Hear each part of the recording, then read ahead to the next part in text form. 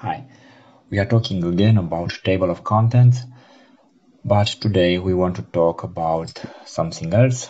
Uh, in the last video we talked about changing the title, protecting, applying to entire document or to a chapter, how many levels to apply. Uh, we are talk we have talked about outline, additional style, index marks.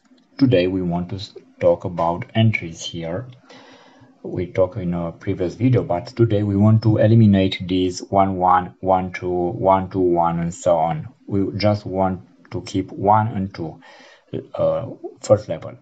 So we eliminate, we click on that this symbol, chapter number, and we delete from keyboard. So we don't have that number anymore. If we want to insert again, we press 2, click between these elements and insert chapter number. The same here, insert chapter number, okay. So very easy, let's go further. Let's see what we have. We have styles. So for title, we have here, we have bibliography heading. We can double click here and change the style. Okay, you can see on preview how it's changing we can choose our style, my style, or any other style. Okay. So let's choose one. Content heading. Let's change uh, the next one. We can change to any style we want. So let's see that. Okay. So if we, we want a big style, we have that. Let's change back to my title or any style uh, we like.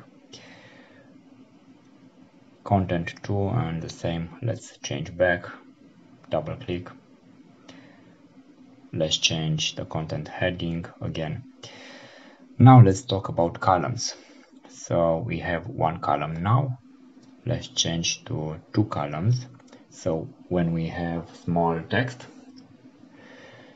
we can do that so let's see. We you can see here the preview. With a line now with uh, with a line of another color and we want the line to have 80% from that space. So now it's in the top. Let's change to center.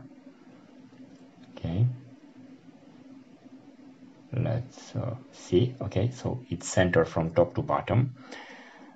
This is how we'll look on printing printed. Okay.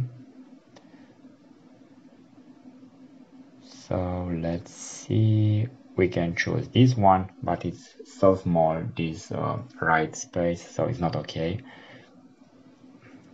Use depending on what you are printing. If you are printing on a large paper a small text uh, maybe could be a, a, very nice solution. Here is the spacing between um, these um, columns and we can change everything. Let's see on printing. This is how we look. Let's change the background now. Now it's none. So you can see now we have no background. So this gray is just for identifying that you have there a field let's choose this blue. It's not so nice. Let's choose a bitmap. Okay but in this case the text is very hard to read. Let's close this. Let's change. Let's change another background. Okay.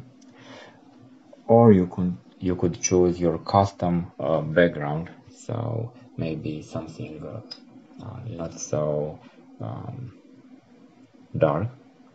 Okay. So this was that was all about table of contents. Thanks for watching and please subscribe for more video. Thank you